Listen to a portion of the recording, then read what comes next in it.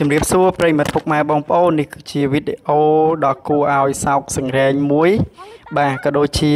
មើលទៅ គឺសង្វេគមែនទែនតកតឹងជាមួយនឹងឧបតវហេតុនៅក្នុងការលេចទូសចម្លង របស់បងប្អូនសិស្សសាលាមួយក្រុមដែលពុកម៉ែបងប្អូន បានឃើញ នៅក្នុង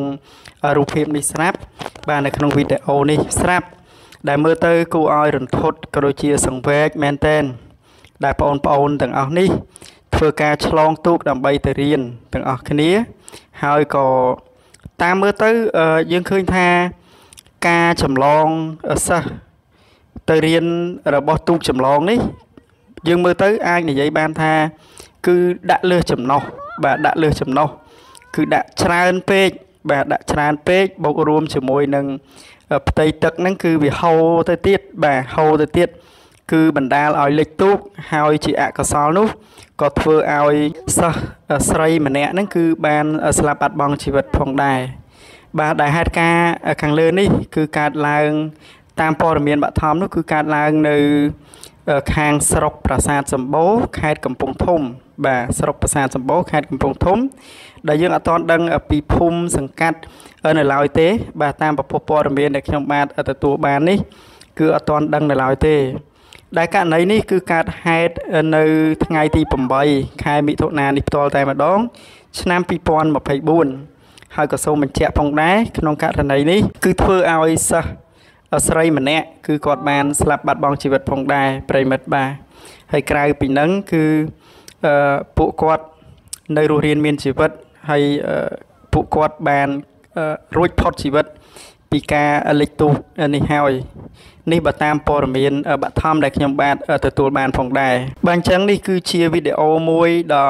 គួរឲ្យសោកស្ដាយក៏ដូចជាគួរឲ្យសោកសង្រេងមែនតែនហើយអាណិតទៅដល់ក្មេងៗទាំងអស់នេះមែនតែនហើយក៏សូមផ្ដាំផ្ញើក៏ដូចជាផ្ញើវីដេអូទាំងអស់នេះ ទៅដល់បងប្អូនសិស្សសានុសិស្សដទៃទៀតណាសិស្សសានុសិស្សដទៃទៀតដែលប្អូន អាចទៅរៀនបានដោយស្រួល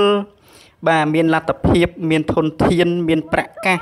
ដែលឪពុកម្ដាយបានផ្ដល់ឲ្យបងប្អូន ធ្វើការទៅរៀនហ្នឹងគឺបានពេញលេញបាទទាំងសម្ភារៈបាទទាំងមកព្យោបាយធ្វើដំណើរ មានម៉ូតូមានឡានជូនទៅសាលាក៏ដូចជាប្អូនខ្លះទៅគាត់មានកង់មានអីធ្វើដំណើរទៅសាលាអឺយ៉ាងងាយស្រួលផ្ទុយពីប្អូនប្អូនដែល យើងឃើញនៅក្នុង នៅក្នុងវីដេអូនេះ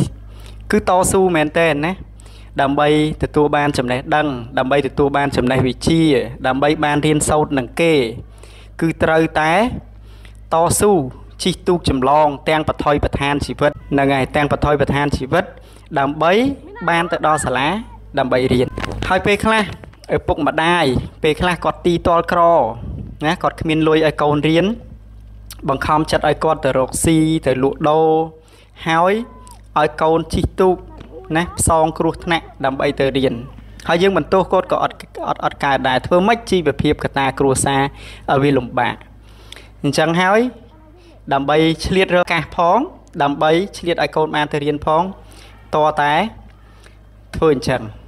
ណាអញ្ចឹងសារមួយនេះខ្ញុំបាទក៏សូម5ផ្ញើទៅដល់បងប្អូនសាសានុសិស្សទាំងអស់ បាទដែលយើងមានធនធានស្រាប់ណាយើងមានធនធានលទ្ធភាព ស្រាប់នៅក្នុងការរៀនសូត្រមានតាទាំងសម្ភារៈនិយមផ្សេងផ្សេងបាទគឺប្រឹងទៅបងអូនប្រឹងទៅណាយើងត្រូវគិតថាអ្នកខ្លះគឺអត់មានធនធានដូចយើងទេតួយ៉ាងដូចនៅក្នុងវីដេអូនេះអញ្ចឹងគ្នាអត់មានអីទេណាទៅរៀនត្រូវឆ្លងទូកបថយប្រឋានគ្រោះថ្នាក់ ក៏គ្នាទៅដែរឲ្យតែបានរៀនហើយចោះយើងណាចោះយើង យើងមានអ្វីគ្រប់យ៉ាងណាយើងមានធនធានមានលទ្ធភាព មានសម្ភារៈតែបងប្អូនខ្លះគាត់ខ្ជិលទៅទៀតគាត់មិនយល់អំពីទឹកចិត្តម្ដាយទៅទៀតណាឪពុកម្ដាយត្រុកត្រុកណាខំធ្វើការងារទាំងថ្ងៃក្តៅហាលខ្យល់ហាលភ្លៀងដើម្បីយកលុយឲ្យគាត់ទៅរៀនទិញម៉ូតូទិញសម្ភារៈឲ្យគាត់ប្រើដើម្បីរៀនលើកទឹកចិត្តគាត់ តែគាត់បែរជានាំគ្នាដើរទៅផ្លូវផ្សេងមិនខិតខំរៀន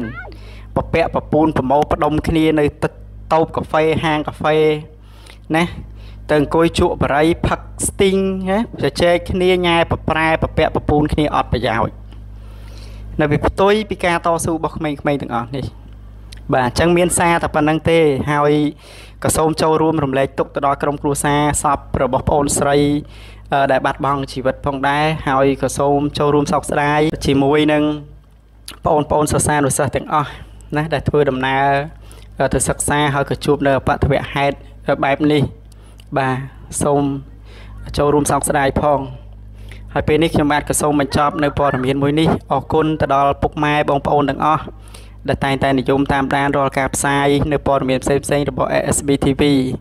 បាទខ្ញុំបាទក៏សូមអរគុណសូមគោរពលា